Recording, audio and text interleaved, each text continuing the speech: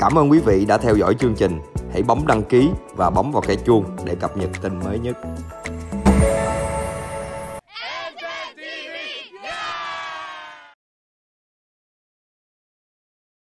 Kim Vũ xin kính chào quý vị đang trên kênh N10 TV.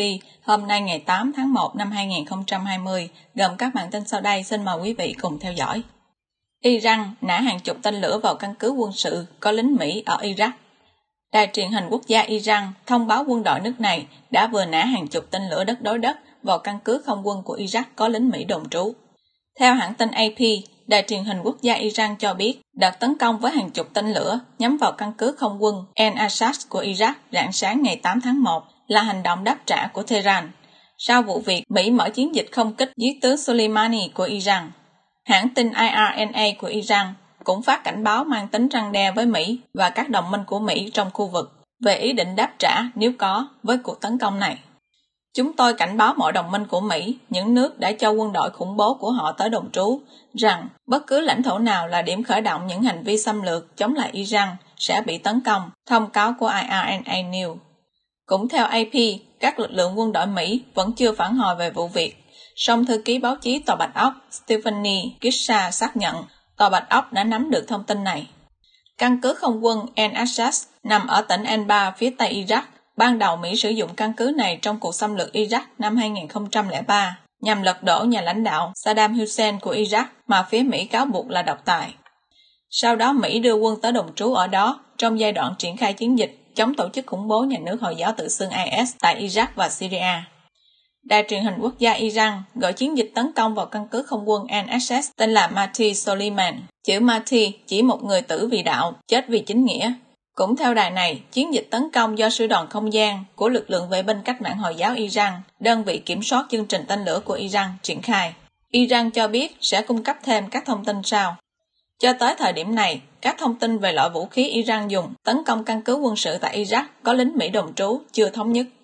Trong khi hãng tin Reuters dùng chữ rocket, thì hãng tin AP cho biết là tên lửa đất đối đất, còn báo New York Times lại dẫn nguồn tin từ truyền thông Iran và các quan chức Mỹ nói đó là tên lửa đạn đạo. Nguồn tin trên Twitter của nhà báo Jim Scudo đài CNN cho biết, một nguồn tin an ninh của Iraq cho biết đã có thương vong trong vụ Iran tấn công tên lửa vào căn cứ không quân Al Assad sáng nay ngày 8 tháng 1. Báo Washington Post dẫn nguồn tin từ ngũ giác đài xác nhận lực lượng Iran đã bắn 12 quả tên lửa đạn đạo vào căn cứ tại phía Tây và phía Bắc Iraq có quân nhân của Mỹ và liên quân đồn trú. Xin mời quý vị theo dõi bản tin tiếp theo. Ông Tập Cận Bình ca ngợi lãnh đạo Kiribati khi cắt băng giao với Đài Loan. Chủ tịch Trung Quốc Tập Cận Bình ca ngợi lãnh đạo Kiribati vì đã đứng về lẽ phải của lịch sử khi cắt mối băng giao với Đài Loan. Tháng 9 năm ngoái, Trung Quốc và Kiribati khôi phục mối ngoại giao dựa trên nguyên tắc một Trung Quốc và đã tiến sang chương mới trong hợp tác song phương. Chúng tôi chào mừng Kiribati trở lại với đại gia đình, hợp tác Trung Quốc, quần đảo Thái Bình Dương, đài truyền hình CGTN của Trung Quốc phát tuyên bố của Chủ tịch Tập Cận Bình ngày 6 tháng 1. Kiribati có tên chính thức là Cộng hòa Kiribati, là một quốc đảo ở trung tâm Thái Bình Dương. Những quốc đảo như Kiribati được cho đã chứng kiến sự cạnh tranh giữa Đài Loan và Trung Quốc trong các vấn đề ngoại giao.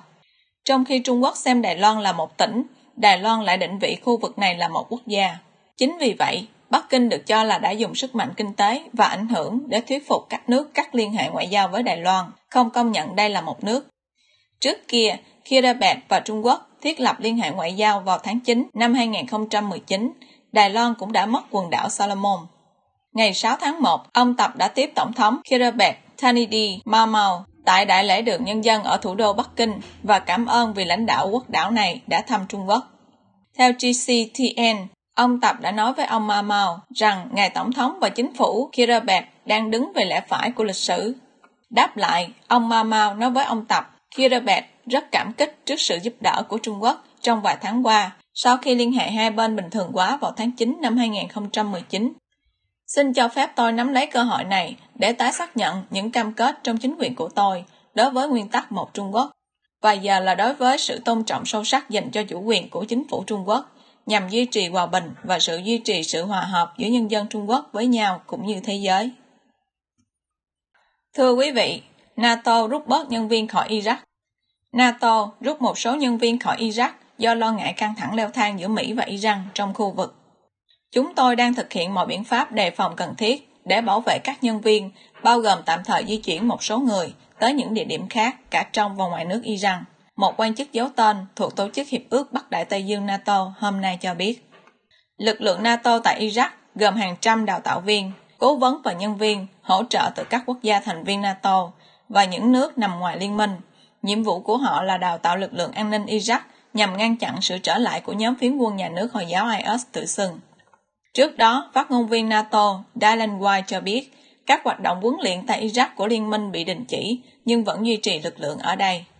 Bộ Quốc phòng Đức hôm nay thông báo khoảng 30 binh sĩ của nước này thuộc liên minh chống IS đồn trú tại Iraq sẽ được điều tới Jordan và Kuwait. Động thái này diễn ra sau khi Quốc hội Iraq ngày 5 tháng 1 bỏ phiếu thông qua nghị quyết yêu cầu chấm dứt sự hiện diện của quân đội nước ngoài tại quốc gia này. Tuy nhiên, một nguồn tin cho biết Pháp không có kế hoạch rút khỏi Iraq. Xin mời quý vị theo dõi bản tin kế tiếp. Indonesia điều 4 chiến đấu cơ đến Biển Đông giữa lúc đối đầu với Trung Quốc. Không quân Indonesia ngày 7 tháng 1 triển khai 4 máy bay chiến đấu tới Biển Đông giữa lúc căng thẳng với Trung Quốc sau khi Jakarta phản đối Bắc Kinh xâm phạm vùng đặc quyền kinh tế. Cuộc đối đầu bắt đầu giữa tháng 12 khi một tàu tuần duyên của Trung Quốc đi cùng các tàu đánh cá của nước này tiến vào vùng biển ngoài khơi phía bắc quần đảo Natuna của Indonesia. Sau đó, Jakarta đã triệu tập đại sứ Bắc Kinh theo Reuters. Sự việc đã gây ra căng thẳng trong liên hệ nhìn chung, thân thiện giữa Indonesia với Trung Quốc. Bắc Kinh là đối tác thương mại lớn nhất, đồng thời là nhà đầu tư quan trọng tại đất nước đông dân nhất Đông Nam Á. Facha Adrianto, phát ngôn viên không quân Indonesia cho biết, bốn máy bay F-16 đã thực hiện các chuyến bay qua quần đảo, dù ông cũng xoa dịu sự lo sợ về bất kỳ cuộc chạm trán nào với Bắc Kinh. Họ đang tiến hành những cuộc tuần tra tiêu chuẩn để bảo vệ khu vực thuộc chủ quyền của chúng ta. Việc tuần tra Natuna diễn ra bình thường như vậy. Ông Edrianto nói, chúng tôi không được lệnh gây chiến với Trung Quốc.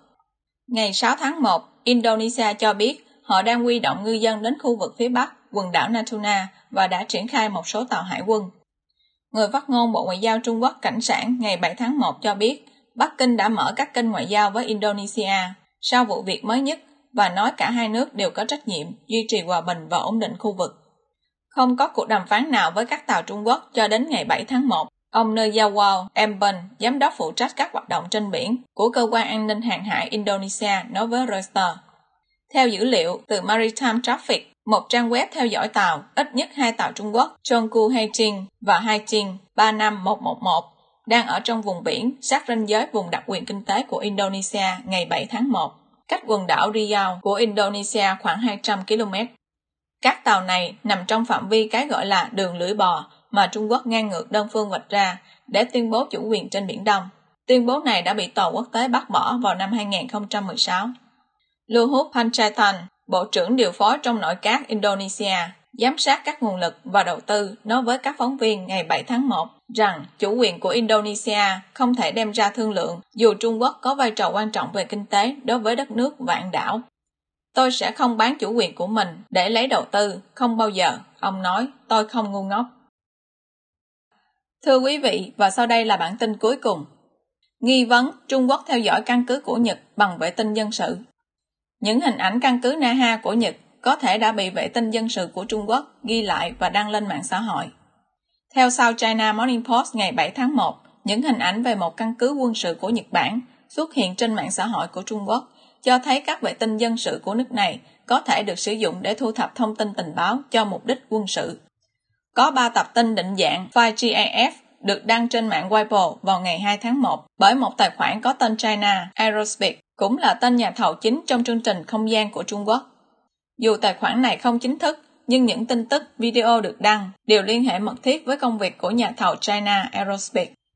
Các hình ảnh cho thấy những máy bay cất cánh và hạ cánh tại một căn cứ thuộc lực lượng phòng vệ trên không của Nhật tại thành phố Naha thuộc tỉnh Okinawa.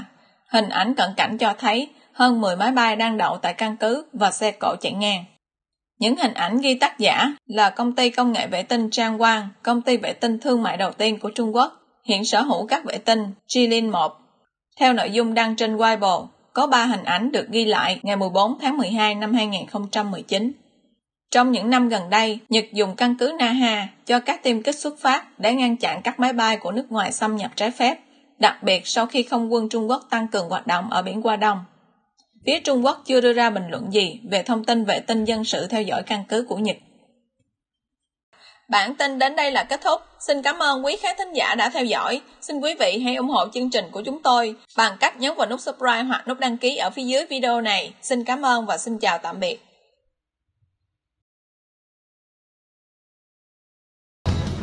Cảm ơn quý vị đã theo dõi chương trình. Hãy bấm đăng ký và bấm vào cái chuông để cập nhật tin mới nhất.